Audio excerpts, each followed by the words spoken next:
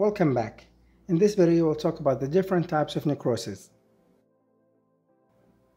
The first in our list is the coagulative necrosis and this involves ischemia to any organ. In this type, the cell outline is preserved but the inner components are damaged. So we do see the cell cytoplasmic membrane but the inner components are heavily changed. Like a nuclei that has disappeared or a cytoplasmic matter that is more receptive to dye. If we zoom out, the entire organ will preserve its shape, although it's going to be dead, so we might see some change in color. But the general overall shape will be preserved.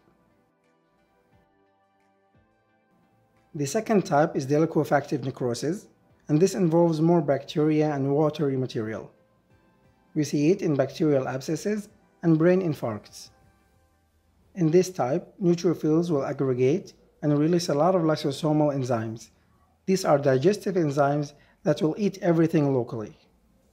So we're left with a big goo or meshy component filled with dead cells, a lot of debris, and exudative material.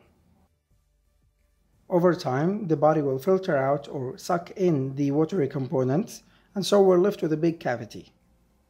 So the overall shape of the organ is not preserved. Early on, we'll see some gooey material, and later on, we'll see a big hole.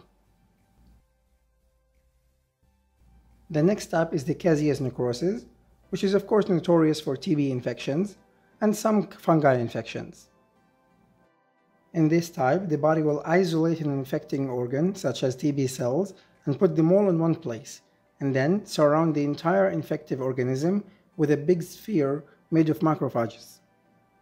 So if we cut it open, we will see a thick wall made of macrophages and protective cells, and the inner material is made of dead cells, a lot of TB or other infective organisms, and a lot of debris.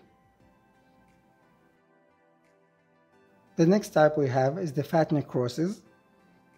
In this type, we have fat cells that have simply died. This can be the results of trauma or non-trauma. The non-trauma is most likely enzymatic.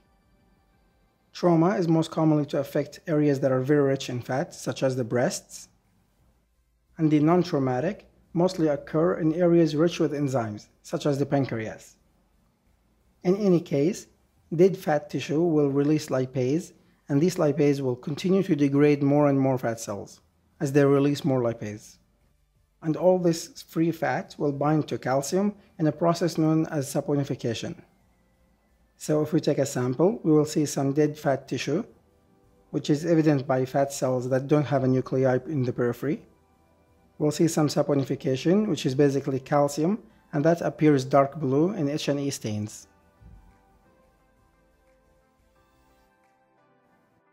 The next type is the fibrinoid necrosis, and in this type, the wall of the blood vessels is damaged or exposed, most commonly as a result of immune reaction and as the wall is exposed, fibrin and other blood components will seep into the wall and cause it to be thicker. So if we take a sample of an affected vessel, we will see a thick wall that is very pinkish.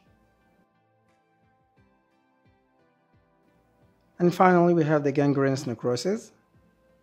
This is simply the results of lack of blood, most commonly affecting distal organs such as the fingers or toes. In this area, the distal organ will not have blood for a very long time, and that will cause the organ to simply die. So in a way, it's an ischemic insult. But it can also be the results of infection, such as in diabetic foot with complicated ulcer, and in this case, it's more of a liquefactive issue. Alright guys, that's all I have. Thank you so much for watching, and hopefully this helped.